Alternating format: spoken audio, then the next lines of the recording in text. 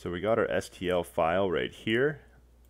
In, I'm in Windows 10, so I have a few options. There's all these uh, Builder 3D Builder Viewer, Paint 3D, and Print 3D. I don't have a 3D printer, but I'm going to go into the uh, 3D Viewer, and that will let me look at it. It does let me change a few options. You can change this color and whatnot. Check it out. Change the different lighting.